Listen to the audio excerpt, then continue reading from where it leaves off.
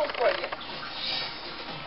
It's taken me a quarter of a million dollars to build the most extreme plastic body in the world. I'm proud to be plastic. Do you think that you have an addiction?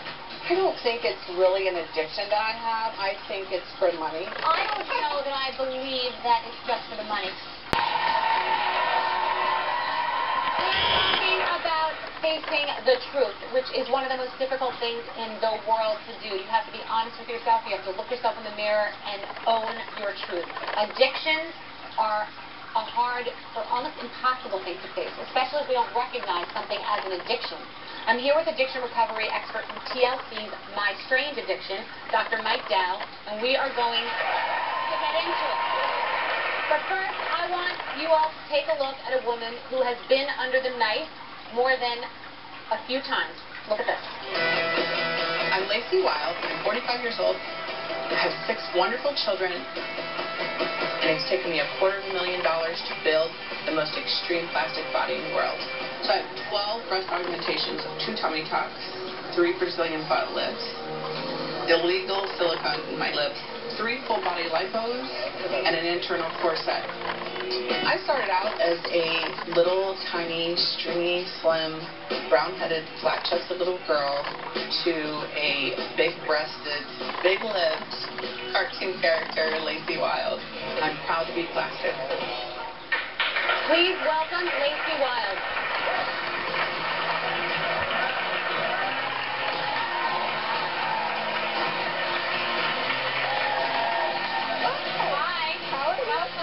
How are you?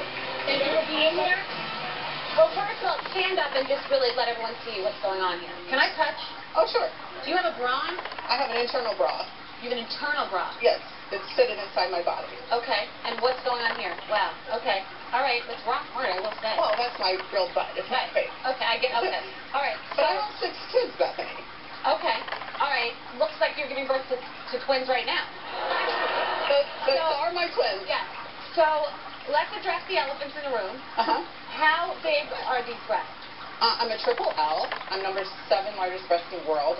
Okay. So what, what do you what is what you you did deal with this all the time? What do you think about this? Yeah, well- what, what is your assessment? You know, it's, it's so interesting, Bethenny. I think all of us have something uh, that we wish we were maybe uh, a, a little bit less of, maybe a little bit less vain. Maybe we check our hair one too many times, or we think that if we change that outfit, uh, that it's going to be, you know, so killer, but we look the same to everybody. But then there is an addiction. And what, one of the hallmarks of addiction is needing more and more to get the same result. And Lacey, you know, when I was when I was watching you, I just wonder if you were needing more and more, and if it may have gone too far to the point where it's causing some consequences in your life. You know? Well, it's definitely changed my life. I mean, you know, I can't go out in public and, you know, like with my children, and we can't go to the park or the beach or anything like that because obviously paparazzi and, like, people are just like, their, you know, jaws drop to the floor. But So does, isn't that exciting to you that you can't go to the park and the playground and do things with your kids because of a physicality that you've elected to do? Yeah, you know, it, it, it really does, you know, bother me um, that I can't go to the park and stuff. But, you know, I mean, I'm on TV a lot. Lacey, how, how Oh. many gallons are they? Do you, do you know exactly? I'm one cup shy of a gallon in each breast. So let me just explain to you guys. This, do you know how heavy these things are? See, This is what she's walking around with every day. Don't you for real? I can't even pick these up. Try and sleep with them. Okay, let's discuss really seriously why. Yeah. And do you think that you have an addiction? I don't think it's really an addiction that I have I, I, or an obsession. Um, I think it's for money. This is what, you know, the world is the one that said, hey, you know, we really like what you're doing, so I added to it. And the more the people asked for it, I gave it to them. And it pays my bills. I mean, I have six kids. I'm a single mom. And uh, two in college, so it's not easy. And he wants to show one of the things that really concerns me is is her kids, and you know her son really expressed a, a lot of concern because there were complications, and your next planned breast augmentation is actually going to bring your breast to the size of something we have over Wait, The SUV tire. someone come over here. Someone come from the audience. And let's.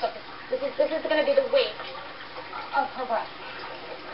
Yeah. I mean, wow. So, see if here. Get a load of this. Oh, geez. So that your boobs are going to weigh the size of the weight of this tire weighs?